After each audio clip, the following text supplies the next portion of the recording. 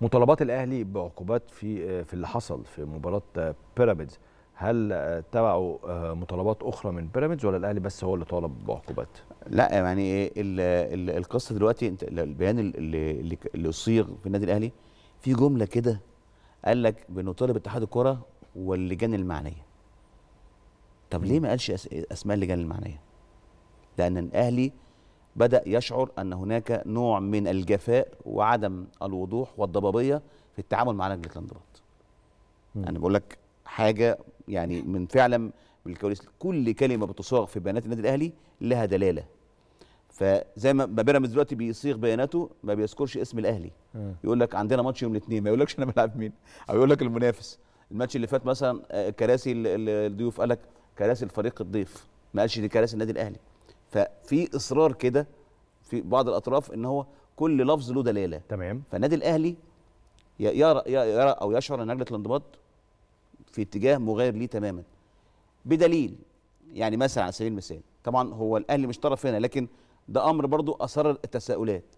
هو ليه ما حدش دلوقتي قال لنا إيه حكاية جوميز؟ آه. الماتش المصري ده كان في شهر ستة مش كده؟ والواقع لغاية دلوقتي- أحد مباريات النادي الأهلي الكابتن سامي قمصان دخل في مشادة مع مراقب المباراة بسبب جائزة رجل المباراة اللي توج بيها كريم فؤاد. وقتها حصل برضه مشادة بينهم. لا مشادة حاجة.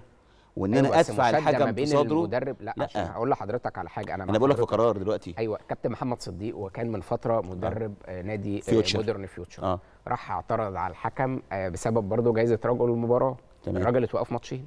فهي واقعة نفس الواقعة. لا، برضه ما أقدرش أقول تكييف تكييف القانوني واللي ذكر في التقرير هو الذي يحدد الواقعة دي إيه والواقعة دي إيه. دي تعاقب بإيه؟ ودي تعاقب بإيه؟ ما عندناش لكن معلومة أنت دلوقتي. عندك جفاء ما بين لجنة المسابقات هل مراقب المباراة دي الانضباط دلوقتي. الكابتن سامي قمصان ولا لأ؟ لأن واقعة مصورة ما أعرفش شفتوها ولا لأ كانت واقعة شفناها مصورة بس هو السؤال. وحصل مشادة ما بين الاثنين وتدخل الكابتن هل الكابتن سامي قمصان دفع بيده المراقب؟ لا طبعا لكن برضه شفنا واقعه أنا بس وطرش. بس إحنا بنتكلم في واقعه ولا بنتكلم في حاجة دونت وكتب في التقرير إن الحكم الرابع تعرض للدفع من جوميز واحيل لجنة الانضباط. أين هو التحقيق؟ طب.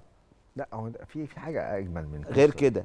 آه. وقعت دونجا وزيزو اللي كل الناس شافتها. لا طب سيبك بس على فكرة دي اتاخد فيها عقوبة. أنا فاهم. والعقوبة اتشالت في الدرج. لا لا أنا عايز بس ارجع في قصة جوزيه جوميز.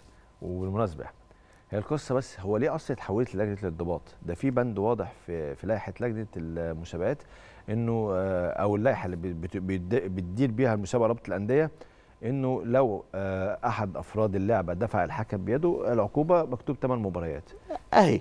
يعني أنا أقصد إيه؟ أنا أقصد على فكرة ده نفس الموقف بتاع حسين الشحات والشيبي لما خد مباراتين. ليه؟ هو رجع للبند اللي موجود في اللائحة من غير لجنة الانضباط. بالعكس بقى ده هو لو كان بيحول لجنة الانضباط لو شايف العقوبة مش مناسبة كنت حولت قصة حسين الشحات دي من أول وكنت- لجنه الانضباط. وكنت قفلت كنت الباب قفلت من كنت بدري قفلت يعني. الحكاية. بس أنا مش. ليه في عقوبات تاخد تاخد باللائحة على طول رغم إن هي صح. واضحة وفي عقوبات تانية تحول لجنة الانضباط. صح. وزي ما قال الأستاذ أحمد هي بقى لها فترة فعلا. صح. دي برضو الحاجة غريبه وبالمناسبة ده اللي خلاني قلت لك اذا اذا فتح الكلام يا أحمد إن أنا بقول لك تصاغ بيانات الأهلي إزاي؟ مم. ليه بقى؟ إحنا بنتكلم دلوقتي في بيراميدز. هل ستتم اتخاذ عقوبات؟ اللي عرفته من رابطة الأندية إن العقوبات هتصدر النهارده أو بكرة بالكتير علشان الماتش الجاي بتاع الزمالك وبيراميدز والأهلي والمصري أي حد له عليه عقوبة ما يلعبش. مم. فالعقوبات تتاخد مباشرة. وده المطلوب. عظيم. انت خدت العقوبة بقى حضرتك من لجنة المسابقات أو من لجنة الانضباط. على فكرة في نوع من الجفاء بين اللجنتين. عظيم. ازيدك مش شارب آه، بس في القصة دي عشان حاجة- آه، آه دي يلا. آخر نقطة يعني عايز يلا. أكمل بس على كلام. الأستاذ جلال. والسؤال اللي أنت سألته. نادي بيراميدز أيضا تقدم بشكوى اليوم وده خبر آه، حصري هنا. تقدم بشكوى اليوم للجنة الانضباط ضد جماهير النادي الأهلي ضد إمام عاشور ضد عضوين من مجلس إدارة النادي الأهلي. نادي بيراميدز قدم النهارده بشكوى لجنه الانضباط ضد هؤلاء جماهير النادي الأهلي. طب جميل النادي الأهلي مفهومة؟ عشان ممكن يكون حصل في في الملعب. بالظبط. آه، إمام عاشور عضو إمام مجلس إدارة في؟ النادي الأهلي. إمام عاشور عشان الفيديو اللي خرج الصوت وإمام عاشور بيشاور لحسين الشحات بيقول له ما تسلمش على الشيبي. أنت شفت الموضوع طبعا. فهم أنا شفت الفيديو. إيه فنادي السبب بيرا- بقى؟ نادي أكيد السبب الأزمة أكيد فهم مش لا. عايزين يحصل تع- يعني السبب إن السلام الجمهوري لو اللقطه معانا ممكن نجيبها. السلام الجمهوري عزف. بعد استلام الجون ما بيحصل في شيء كريم اللي بيحصل. الناس المفروض بتسلم على بعضها. آه شيء مش هو خرج آه. وتعامل كأن عنده مشكلة في أيوه في الفخذ بس لا هو إمام قال قبل ما الشيبي يخرج عم- قال له ما تسلمش عليه. لا لا لا لا طب بعد هو ما لا, لا أنا لو هو خرج مش هيقول له. لا. أستاذ أول ممكن أقول حاجة بصراحة. اتفضل. عشان أنا جبت اللقطة. يا شباب لو العداله اللقطة نفض يا الاشتراك. هو هو هو فعلا كان خرج هو كان في آخر الصف خالص.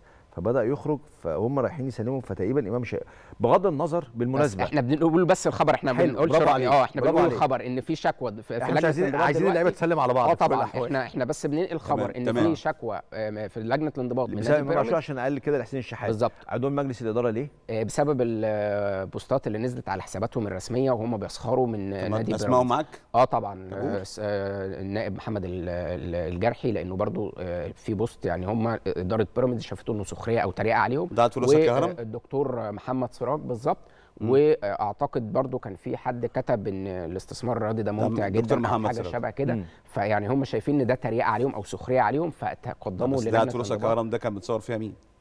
مهندس خالد مرتجي وأستاذ محمد الغزاوي تقريبا معظم أعضاء مجلس الإدارة أغلب. أعضاء مجلس آه، الإدارة آه، بالظبط يعني أغلب مجلس أعضاء الإدارة. ودكتور على فكرة سراج أنا أنا متفق مع مع مع, آه. مع إن ده يعني أمر لا يستقيم مع قيمة النادي الأهلي يعني حتى لو كان في حاجة غلط حلو. ما ينفعش إن ده يحصل وفي الآخر إحنا حلو. بنسخرش ده كلام محترم استثمار يعني. رياضي لأن إحنا في, اله... في الهدف بتاعنا طب بصرف النظر أنا بلعب كرة قدم. فأنا أنا منافسة طيب. داخل الملعب